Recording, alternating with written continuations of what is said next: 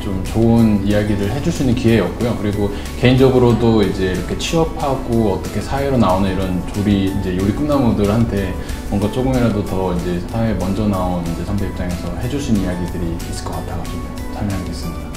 평소에 뵙고 싶었던 분이기도 했고 이제 셰프님과 직접 만남을 갖는 건 쉽지 않잖아요. 그래서 이렇게 알 수 있어서 네, 매우 유익했던 것 같습니다. 현실적인 조언을 듣고 나니까 어, 앞으로 더 열심히 해야겠다는 생각이 많이 들어요. 평소에 셰프님 되게 많이 뵙고 싶어가지고 오늘 강연 이렇게 듣게 되었는데 많이 좋은 말씀도 해주시고 그래서 그래가지고 좋은 시간 된 것 같습니다.